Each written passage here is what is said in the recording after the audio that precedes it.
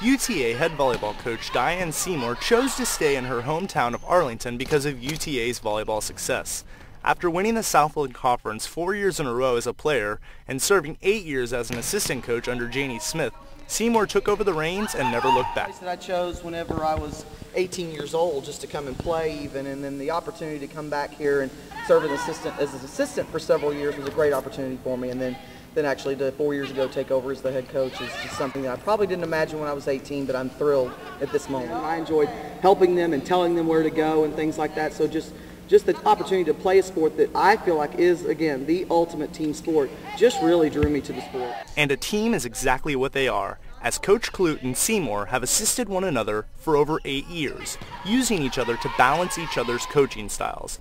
Both have had a passion not just for coaching, but for helping the ladies learn to play to their full potential. It's phenomenal, like how much more volleyball I now know. Her commitment to what UTA volleyball is goes far and beyond what you really would get from most any other coaches. So it's hard so, to mature as a coach and step back and try to let them make mistakes and understand that you made those same mistakes when you were a young player, you know. So you first try to remind them of their strengths, obviously, and then try to teach them how you play the game here. It's, it's not as easy when you get to college. So it's a challenge to keep their confidence up and remind them of why you brought them here, and then also get them to change the mindset. So I would say, you know, it's, it's really been a great honor to learn, but it's also really inspiring to work with somebody who genuinely, wholeheartedly loves this program. I guess once I reached 40, I'm most passionate about coaching. Before I reached 40, I was more passionate about playing.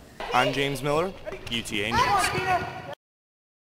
Whether you're a freshman or a senior, having a professional resume is a must for any student. Career Services offers resume critiquing sessions for students who are just starting a resume and for those who are looking to correct just a few things. The resume critiques that we do around campus is a service to all of the university students. So the purpose is to simply be able to offer career services to students throughout the university system.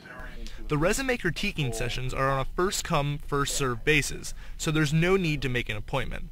Students can attend the resume critiquing sessions on the second floor of the library every Tuesday at noon or Wednesdays at the University Hall at 2 p.m. But they can also send their resumes via email. Plus, I'm currently working on an online resume uh, clinic. They can go step by step through how to look at the different sections of a resume according to the latest information